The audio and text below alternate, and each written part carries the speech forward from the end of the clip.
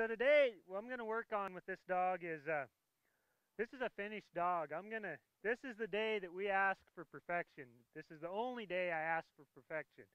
Uh, earlier on in my training sessions, we, uh, we let some things slide here and there with young dogs, work on it, come back to it, and it all fits together.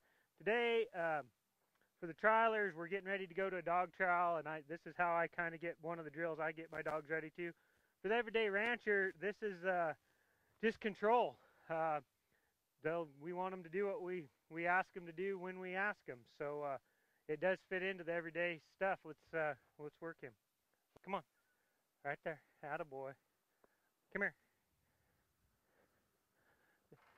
Come on, come on. Right here, right there. Lie down. Here, come by. That boy. Come on. Come on, come on, come on.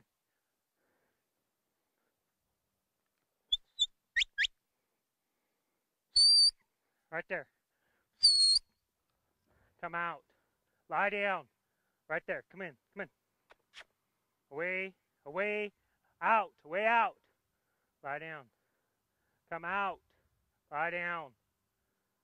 Right there. That'll make sense to us in it uh like at a panel at a gate out. He could have sliced that out. Lie down.